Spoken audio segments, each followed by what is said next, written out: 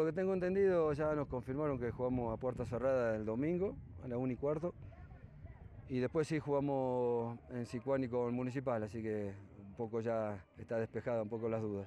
Un poco apenado porque teníamos el partido eh, ganado, casi ganado. Yo digo que siempre cuando pasan estos, cuando se dan estas situaciones, ahí donde, donde el equipo y la jerarquía tiene que, que, terminar el partido. Era 1 a 0, faltaban 30 segundos, si bien en, en el trámite del segundo tiempo Juan Cayo había hecho un poco mejor las cosas, pero el partido ya estaba casi terminado y bueno, uno, uno, uno de afuera gritaba como para que se aferren al resultado porque ya se terminaba y nos daba la posibilidad de depender nada más que de nosotros. Es un equipo que, propone, un equipo que llega, que no, que no ganó, pero es un, rival de, mucho cuidado.